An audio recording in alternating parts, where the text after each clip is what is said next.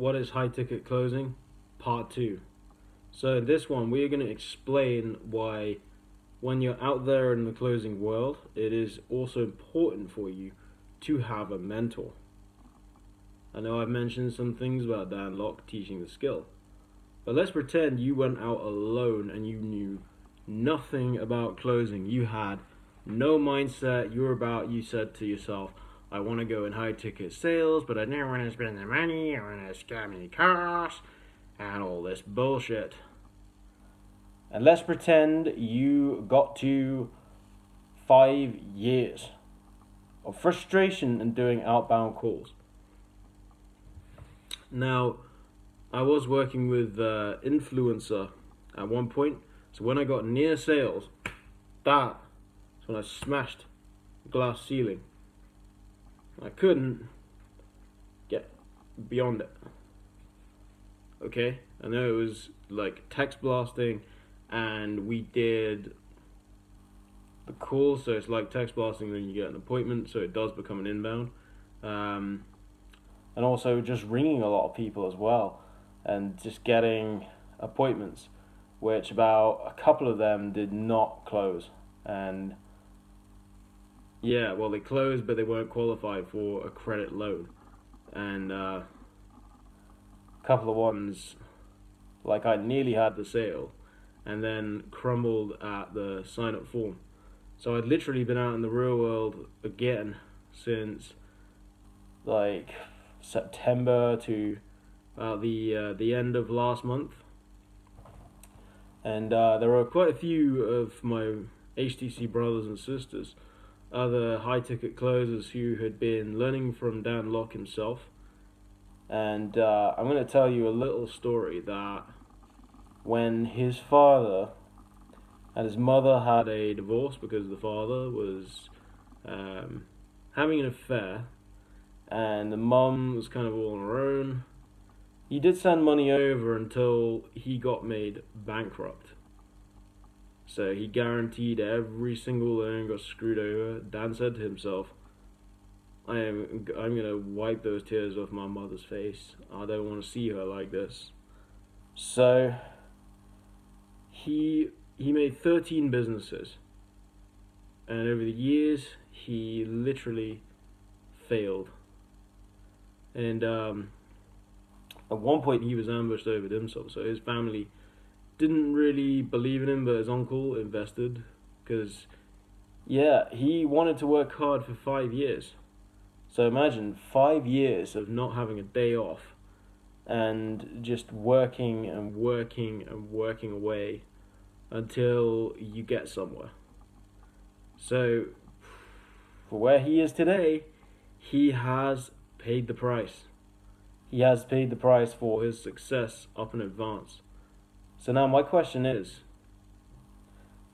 you got two choices here. Do you want to be going around doing outbound calls for an influencer for a few years and then not getting anywhere or do you want to be ringing the yellow pages and trying to get copywriting gigs and then not getting anywhere for another few years?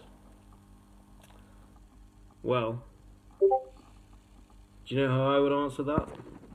I would answer that as well, no, I don't want that. So, you know what? I couldn't tolerate near cells. So I decided that enough is enough. I would rather get some more trading in there myself and then I would go out there again. But I suppose, yeah, I just decided, you know what, I'll work on my YouTube channel. Which I'm sure that is going to work for me at some point. So the reason I'm making these videos is the illustration of paying the price in advance.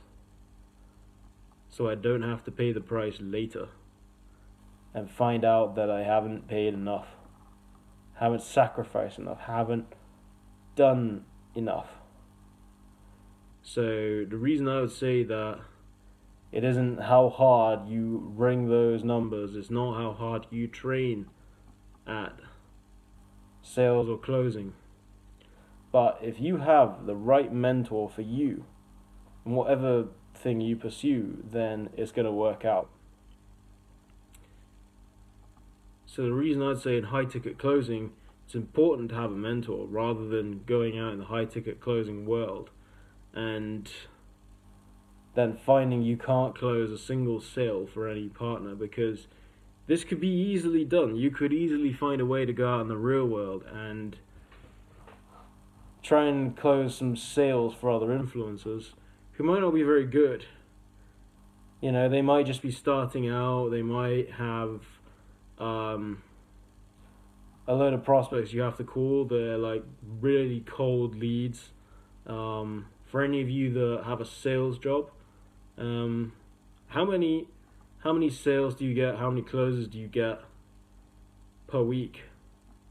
There's anyone who's doing this on their own, put in the comments down below and subscribe for more content so then I can show you what it is that you're missing out on. So let's pretend that you're doing a sales job and you don't close a sale. Maybe you're working from home and you're working with an influencer, but you haven't invested in a course to help you. You haven't invested in any training or you haven't got any people around you helping you.